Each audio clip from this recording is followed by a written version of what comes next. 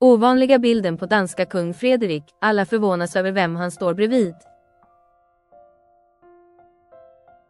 Det är ingen vanlig bild som publicerades på danska kungen. Det doftar fotbollsfeber runt om i Europa. Sverige är inte med i EM. Runt om i Tyskland spelas nu fotbolls-EM mellan alla kvalificerade länder.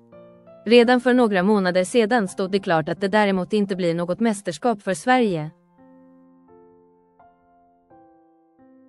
Annorlunda ser det ut för våra grannar i syd. Danmark lyckades ta sig hela vägen till EM och under torsdagen var det dags att möta England. Och matchen får kunglig närvaro, i dubbel bemärkelse.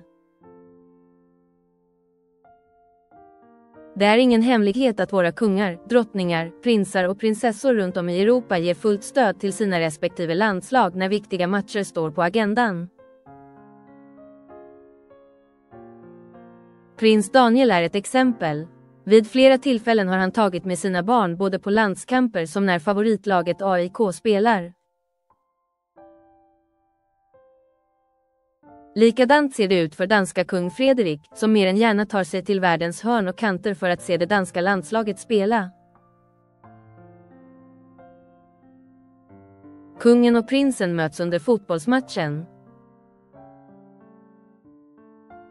Denna gång bar resan av till Tyskland, där EM äger rum, med sig hade han dottern prinsessan Josefin.